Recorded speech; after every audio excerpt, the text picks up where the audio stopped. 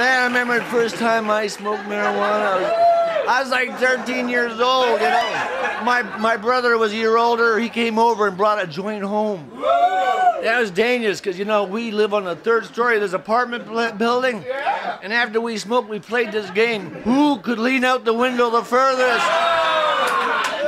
And I won. Luckily, my head broke the fall. You know, I had a bad concussion, and my parents took me to this cheap doctor, and he put a paper plate in my head. It's not bad, except every Sunday I have to go to a picnic. Yeah, I did enjoy smoking my doobies. But I'm in my 50s now. I don't do drugs anymore. Because I find I can get the same effect just by standing up real fast.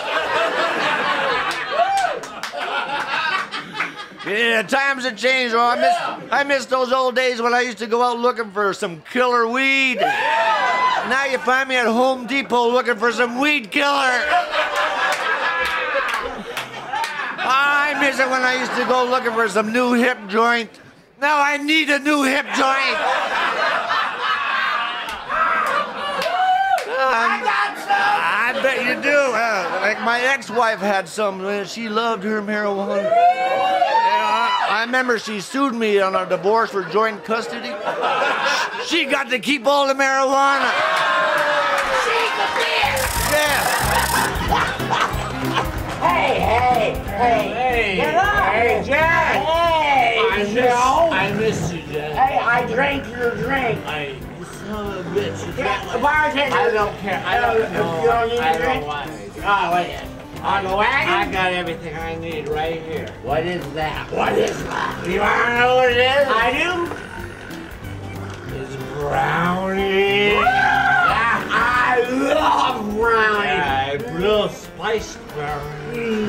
Mm, yeah, little brownies and little spiced. Nice brownie. You ever have a brownie with marijuana in it?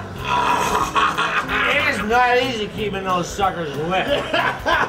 but these are mine. They're all What, mine. can, can I have one? No, I'll tell you what. What?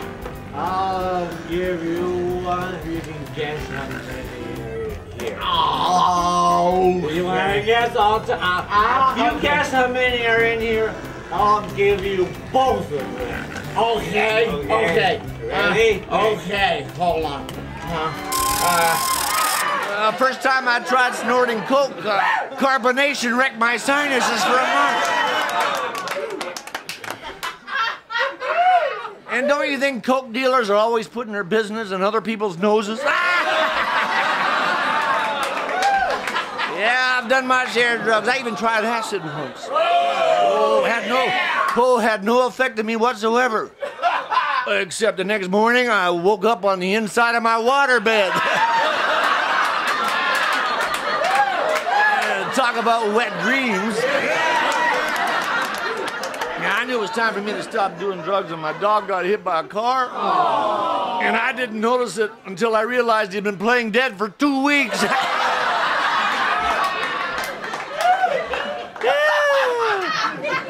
don't smoke pot and drives, though. Don't smoke pot and drive. Cops can pick you up in a second. I got a ticket the other day for an illegal U-turn, which I should have got out of. See, I told a cop, I said, hey, man, you don't understand. See, I was driving down the road, and I said to myself, I better not turn.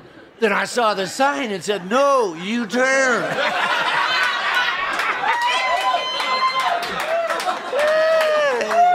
Gosh. Well, I. Cop had no sense of humor either. He asked me for my driver's license. I said, How am I supposed to show it to you when you guys keep taking it away? yeah, what's so funny about pot? It's not funny if you smoke and drive. Yeah. yeah, last week I got a ticket going 55 miles an hour, which was ridiculous. I, I was just backing out of my driveway. Yeah, don't smoke and drive because you can't judge. Yesterday I got a ticket for going 90 miles an hour, oh, which was impossible because I wasn't even driving an hour. yeah, cop got mad too when he pulled me over. He said, All right, where's the fire? I just looked at him and I said, It's in your eyes.